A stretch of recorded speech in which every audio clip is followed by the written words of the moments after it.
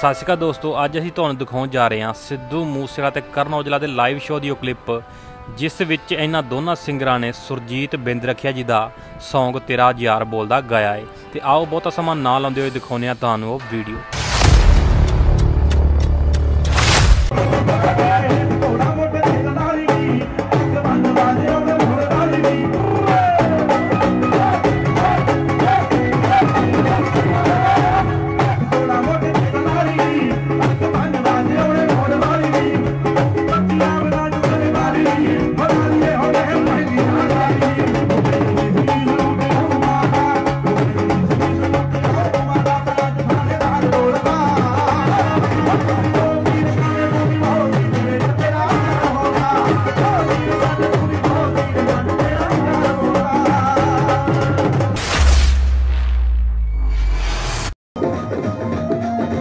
ਜਿਹਦੇ ਥੋੜਾ ਫੁੱਟ ਤੇ ਕਨਾਲੀ ਨੀ ਪੱਕ ਬੰਨਦਾ ਜਿਉਣੇ ਮੋੜ ਵਾਲੀ ਨੀ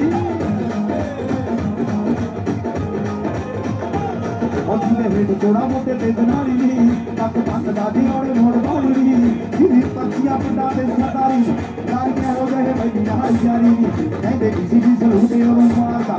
ਕਹਿੰਦੇ ਕਿਸੇ ਦੀ ਸਲੂਟੇ ਉਹ ਮਾਰਦਾ। ਪੈਰਾਂ ਤੇ ਖਾਣੇ ਮਾਰ ਰੋੜਦਾ।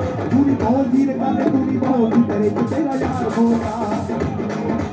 ਦੋਸਤੋ, ਤੁਹਾਨੂੰ ਇਹਨਾਂ ਦੋਨਾਂ ਸਿੰਗਰਾਂ ਵਿੱਚੋਂ ਕਿਸ ਦਾ ਗਾਣਾ ਸਭ ਤੋਂ ਵਧੀਆ ਲੱਗਿਆ, ਸਾਨੂੰ ਕਮੈਂਟ ਬਾਕਸ ਵਿੱਚ ਕਮੈਂਟ ਕਰਕੇ ਜਰੂਰ ਦੱਸਿਓ। ਐਵੇਂ ਦੀਆਂ ਹੋਰ ਵੀਡੀਓ ਦੇਖਣ ਲਈ ਸਾਡੇ ਚੈਨਲ ਨੂੰ ਸਬਸਕ੍ਰਾਈਬ ਜਰੂਰ ਕਰ ਲਿਓ। ਧੰਨਵਾਦ।